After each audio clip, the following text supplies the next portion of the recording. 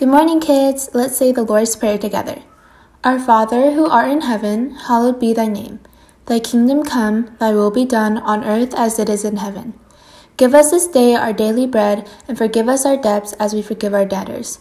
And lead us not into temptation, but deliver us from evil. For thine is the kingdom, and the power, and the glory forever and ever. Amen.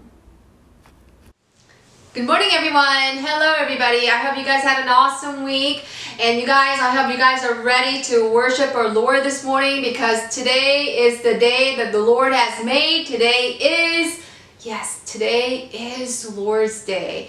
So as we are preparing for worship this morning, um, you guys don't forget to praise because praising is part of our worship and praise always lifts us up so that as we are worshiping our Lord, um, our Lord is just looking down at us and He is giving us a big smile because we are praising His holy name.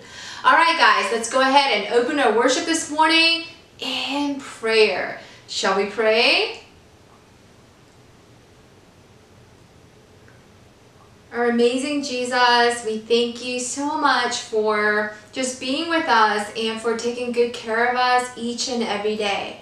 Oh Lord Jesus, um, we're just so thankful that we can come and, and come together in one heart to praise your holy name. And Lord, as we begin our worship this morning, help us, Lord Jesus, so that we will always listen to your words. And Lord Jesus, um, help us so that we will always live by your words. We love you, Lord, and we pray in your precious name. Amen. All right, guys, today I want you guys to take your Bibles and we're going to go to Matthew chapter 9 and we're going to read verse 8 together. Yes, Matthew chapter 9, verse 8. And remember, if it doesn't sound exactly the same, it's okay because we have tr uh, different translations. Remember I told you guys that last week? And so even though my Bible may sound a little bit different from yours, the meaning is the same, okay? So let's go to Matthew chapter 9, verse 8. And it says, When the crowds saw this, they were filled with awe, and they praised God who had given such authority to men. Amen. Now today I'm going to share a I mean, this is an amazing, awesome story. So I want you guys to really listen up. Are you guys listening? Because one day, there was once, there was a man who lived in Capernaum. And he was actually paralyzed. That means that he couldn't really move. Um, he couldn't walk because his body was kind of frozen. It was paralyzed. And the man, he was so paralyzed that he couldn't go see Jesus and ask Jesus for healing. And so he was really sad because he heard of Jesus and how Jesus was like healing so many sick people. But because he couldn't go physically, because he couldn't get up and walk because he was paralyzed, he was really wanting it, but he couldn't, so he was really sad. But guess what? He had some good friends because he had four closest friends who kind of understood, like, uh, they saw that he was really sad. And so guess what? They came up with this idea to make kind of like a stretcher, like a bed for him. So each man, they can actually take a corner um, of the stretcher and they were going to put it, put his, put their friends in there, and they were going to carry each corner of the stretcher, and they were going to carry him to the house where Jesus was staying. And so they were like, all right, let's go. And so they made this like stretcher bed. They put their friend in there and they're like carrying him to the house where Jesus was staying. But when they got there, oh goodness, there were so many people. There were so many people who were gathered around the house and they couldn't even they couldn't even see Jesus because of the huge crowd and there was this long line and so, yeah, when they saw the long line and then they saw the huge crowds of people, I mean, it was so crowded that they became kind of discouraged, right? Because what could they do? You know, and there were so many people, the line was so long, and they were just, they were like, oh, there's no way we can get in to see Jesus, right? And so they were just, so they were like, oh, what can we do? But then they got an idea. Yes, there was a light bulb going off and there was an idea.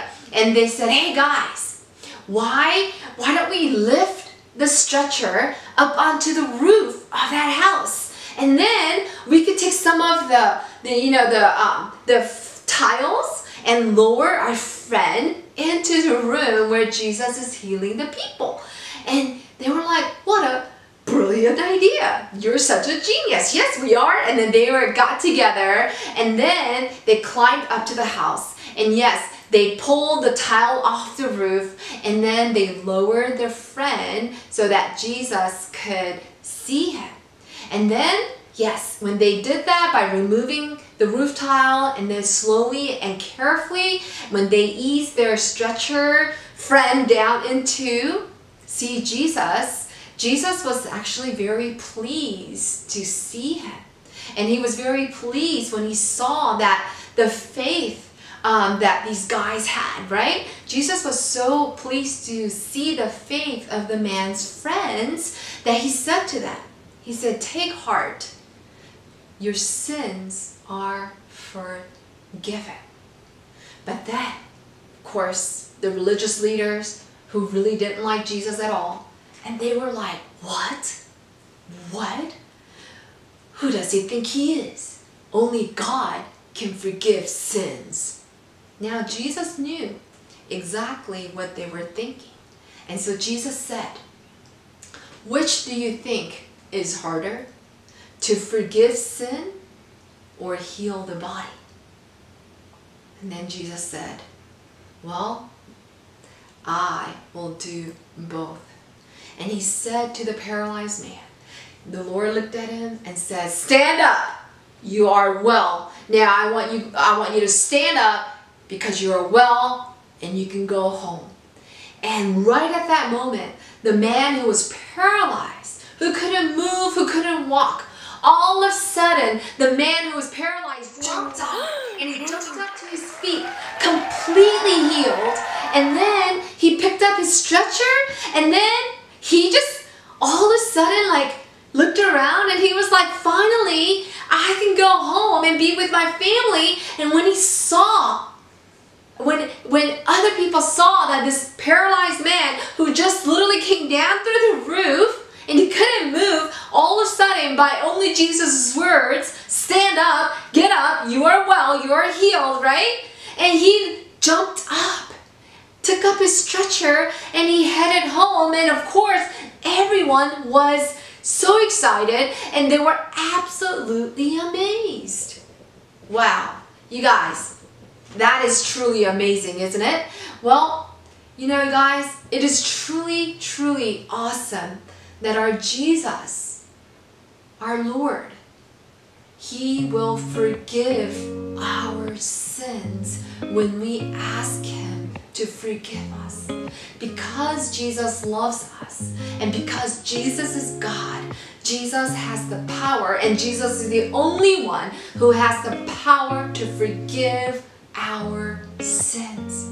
So you must believe and ask Jesus to forgive our sins. And when Jesus forgives us our sins, that means that we can be with Him. We can be with Him and we can serve Him. Amen. And just like His friends who helped each, like, do you guys remember the friends who helped their friend who was paralyzed?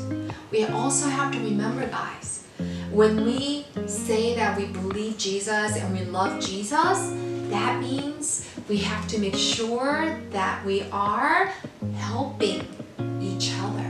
Make sure you are helping your mom and dad. Make sure you are helping your brother and sister. Make sure you are helping your friends because when we're helping each other, it shows that we truly love Jesus and that we belong to our Lord. Amen. So guys, this morning, I hope you guys will always, always remember our Lord is awesome because He can forgive our sins. And He's the only one who can do that. And when He forgives us for our sins, then we can be with Him.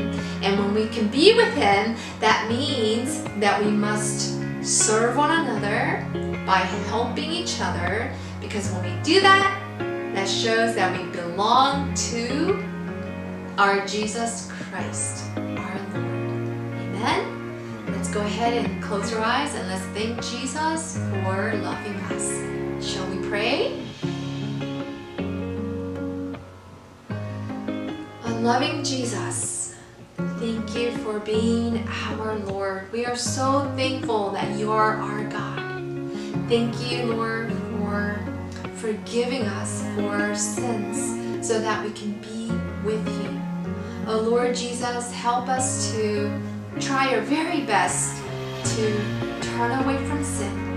And Lord Jesus, when we do sin, help us, Lord Jesus, so that we can come to you for forgiveness. And Lord Jesus, as we serve you, help us, Lord, so that we will always help each other. And Lord, as we are helping each other, help us, Lord, so that we will always, always remember in our hearts that we belong to you. We love you, Jesus, and we thank you for who you are. We pray in your precious name. Amen.